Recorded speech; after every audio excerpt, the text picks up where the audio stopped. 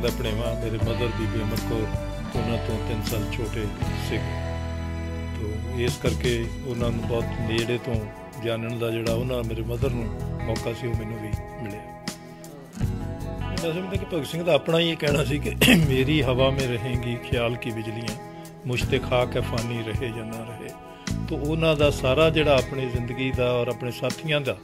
ਕਿ ਅਸੀਂ ਇੱਕ ਵਿਚਾਰ ਜਿਹੜੇ ਨੇ, ਉਹ ਵੀ ਕੇ ਜਾ ਰਹੇ ਹੈਗੇ। ਔਰ ਜੇ ਉਹ ਵਿਚਾਰ ਨਹੀਂ ਫੁੱਲਦੇ, ਤੇ ਉਹ ਮਤਲਬ ਬੁੱਤ ਨੇ। ਤੇ ਜੇ ਉਹ ਵਿਚਾਰ ਫੁੱਲਦੇ ਨੇ, ਤੇ ਉਹਨਾਂ ਦਾ ਜਿਹੜਾ ਉਹ ਵਾਕਿਆ ਹੀ ਹੈ ਕਿ ਅਸੀਂ ਅੱਜ ਆਪਣੇ ਨੌਜਵਾਨਾਂ ਨੂੰ ਉਹਨਾਂ ਦੇ ਵਿਚਾਰਾਂ ਦੀ ਪੁਖਤਗੀ ਤੋਂ, ਉਹਦੀ ਮਜ਼ਬੂਤੀ ਤੋਂ ਔਰ ਉਹਨਾਂ ਦੀ ਸਾਰਥਕਤਾ ਤੋਂ ਮਤਲਬ ਜਿਹੜਾ ਹੈ, ਜਾਣਕਾਰ ਨਹੀਂ ਕਰਾ ਰਹੇ।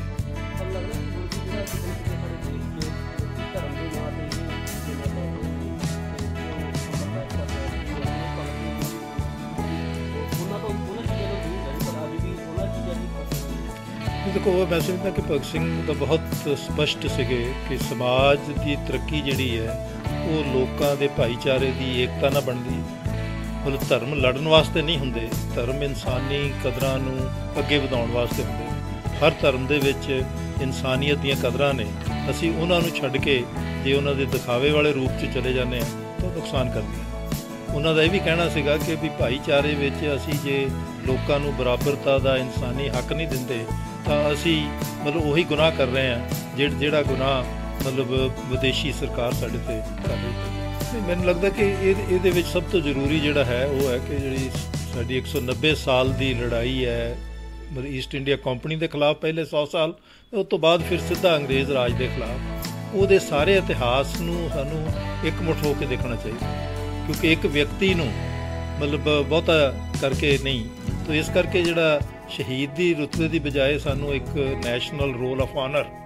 ਕਿ ਅਸੀਂ ਇਹਨਾਂ ਲੋਕਾਂ ਦਾ ਮਤਲਬ ਨੇ ਕੰਟਰੀਬਿਊਟ ਕੀਤਾ ਹੈ, ਵ- ਵੱਖਰੇ ਵੱਖਰੇ ਐਂਗਲ ਤੋਂ ਕੀਤਾ, ਵੱਖਰੀ ਤਰ੍ਹਾਂ ਕੀਤਾ ਉਹਨਾਂ ਸਾਰਿਆਂ ਨੂੰ ਯਾਦ ਕਰੀਏ ਤਾਂ ਕਿ ਲੋਕ ਏਕਤਾ ਵਿੱਚ ਮਤਲਬ ਜਿਹੜੀ ਹੈਗੀ ਹੈ ਤਾਕਤ ਨੂੰ ਪਹਿਚਾਨ ਸਕਣ। ਦੇਖੋ, ਮੈਨੂੰ ਇਹ ਲੱਗਦਾ ਕਿ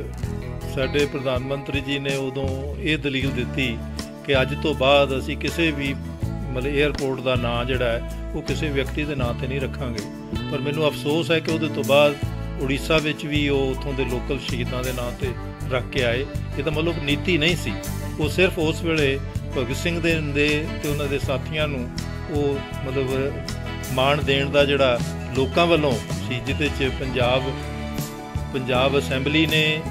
ਮਤਲਬ ਪਾਸ ਕੀਤਾ ਹਰਿਆਣਾ ਅਸੈਂਬਲੀ ਨੇ ਯੂਨਾਨੀਮਸਲੀ ਪਾਸ ਕੀਤਾ। ਸਗੋਂ ਇਹ ਹੈ ਕਿ ਵੀ ਇਸ ਖਿੱਤੇ ਦੇ ਲੋਕਾਂ ਦੀ ਜਿਹੜੀ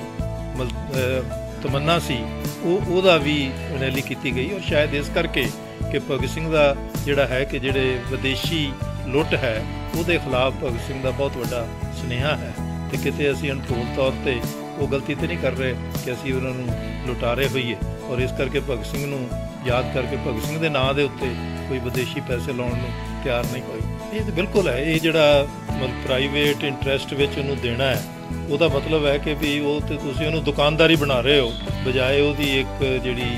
ਕੌਮੀ ਵਿਰਾਸਤ ਹੈ, ਉਹਨੂੰ ਕੀਤਾ ਜਾਵੇ। ਔਰ ਜਲਿਆਂ ਵਾਲੇ ਬਾਗ ਦੀ ਕੌਮੀ ਵਿਰਾਸਤ ਇਹ ਹੈ ਕਿ ਉਦੋਂ ਲੋਕਾਂ ਨੇ ਜਿਹੜੀ ਏਕਤਾ ਦਿਖਾਈ, ਧਰਮਾਂ ਤੋਂ ਉੱਪਰ ਉੱਠ ਕੇ, ਜਾਤਾਂ ਤੋਂ ਉੱਪਰ ਉੱਠ ਕੇ, ਉਹ ਉਹ, ਉਹਨੇ ਅੰਗਰੇਜ਼ ਨੂੰ ਕਮ- ਕਮਾਇਆ ਸੀ। ਔਰ ਉਹ ਉਹਨਾਂ ਦਾ ਵਿਰਸਾ ਹੈ ਤੇ ਜਦੋਂ ਅਸੀਂ ਪ੍ਰਾਈਵੇਟ ਨੂੰ ਦੇਾਂਗੇ ਉਹ ਆਪਣੀ